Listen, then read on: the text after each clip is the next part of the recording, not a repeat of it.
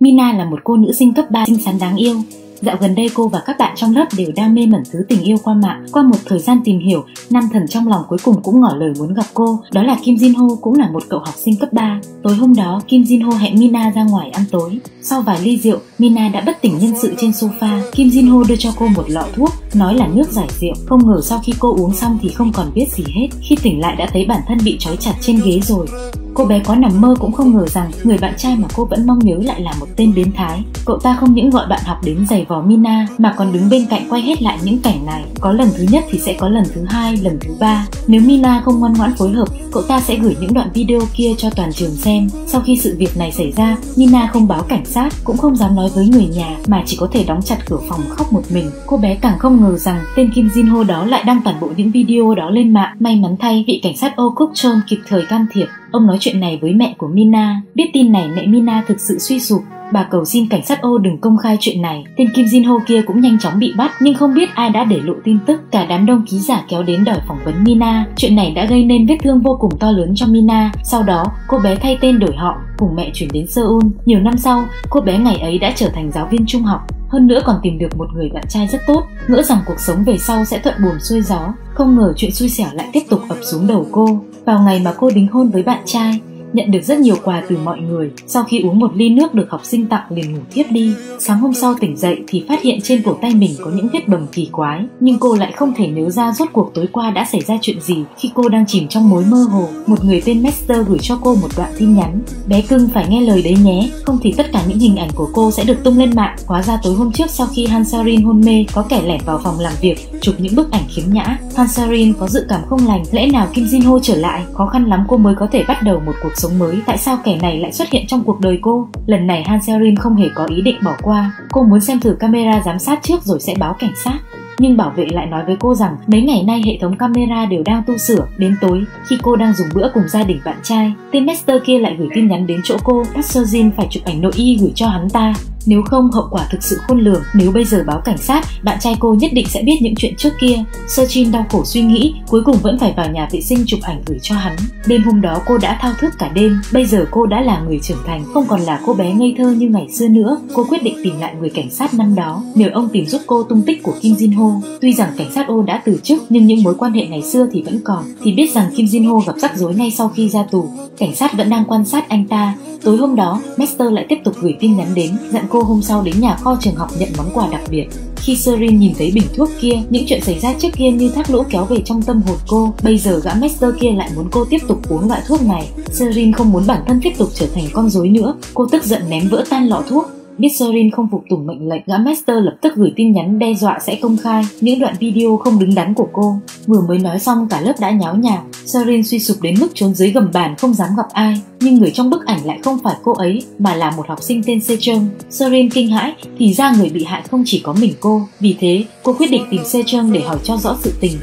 Cô bé nói vài hôm trước có nhận được tin nhắn của gã Master, cũng uống hết lọ thuốc đó, những chuyện về sau thì không biết gì nữa. Không ngờ gã Master lại bán ảnh của cô bé lên mạng để kiếm tiền. Sau khi chuyện này xảy ra, bạn bè trong lớp bàn tán xôn xao, rất có khả năng người tên Master đó chính là lớp trưởng. Si Trương vốn là bạn gái của lớp trưởng. Có một hôm, cô bé phát hiện trong máy tính của lớp trưởng có rất nhiều bức ảnh và video khiếm nhã. Trong phút kinh động nhất thời, Si Trương đã xóa toàn bộ chỗ ảnh đó đi. Biết sự việc này, lớp trưởng còn đe dọa cô bé đừng có tay máy nhiều chuyện, bằng không tất cả những bức hình của cô bé sẽ được tung hết lên mạng. Vì vậy, Sejong mới nghi ngờ lớp trưởng chính là gã Master kia. Một hôm, Sejong nghe ngóng được việc lớp trưởng muốn gặp gã Master, bèn nói tin này cho Sarin. Sau giờ học Sarin theo chân lớp trưởng đến quán bar, cô muốn xem xem rốt cuộc Master là ai, nhưng không ngờ lại bị lớp trưởng phát hiện biết sự chẳng lành. Sarin lập tức nhanh chóng chạy trốn. Sau đó chính là cuộc rượt đuổi gay cấn.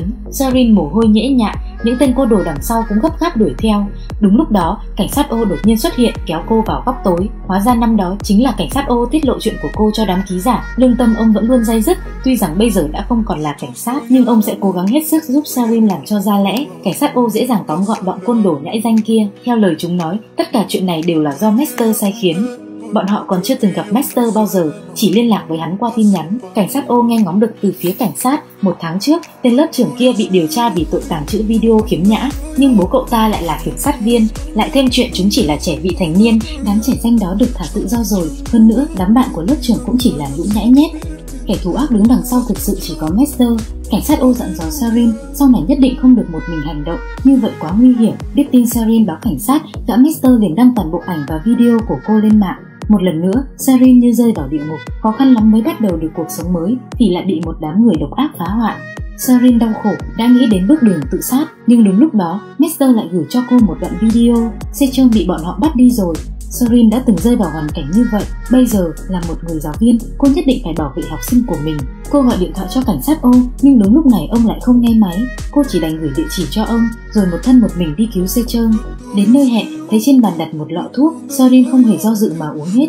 Khi cô vừa tỉnh lại, một đám người đeo mặt nạ đã xuất hiện. Hóa ra, cả xe trơn và lớp trưởng đều là một ruột. Bọn họ đều là thuộc hạ của gã Master. Chỉ cần đăng ảnh của các cô gái lên mạng là có thể nhận được tiền.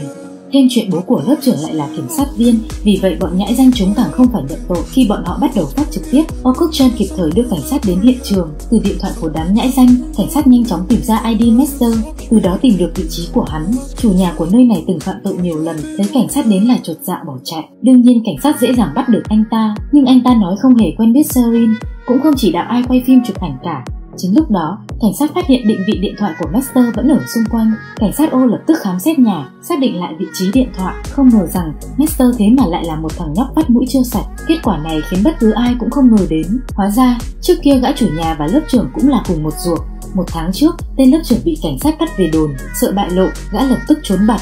Không ngờ cậu con trai lại phát hiện bí mật của ông ta, thế là cậu ta thuận tay lấy thân phận Master tiếp cận xe Sejong. Mục đích mà cậu ta làm những chuyện này hoàn toàn chỉ là để mạo danh người khác, chưa từng suy nghĩ đến cảm nhận của người khác. Nhưng vì chỉ mới 13 tuổi, là trẻ thành niên, không thể phán tội, cảnh sát chỉ có thể giáo dục rồi thả tự do. Những đứa trẻ này thậm chí còn chưa nhận thức được những hành động của mình sẽ đem đến cho người khác thương tổn đến nhường nào. Cũng không quá khi cảnh sát ôn nói luật pháp Hàn Quốc thực sự khiến người ta chán ghét. Còn về Kim Jin Ho, sau khi ra tù thì nhảy lầu tự sát rồi. Bộ phim cũng nói lên một vấn đề nhức nhối trong xã hội, trẻ nhỏ thực sự cần nhận được sự giáo dục đúng đắn.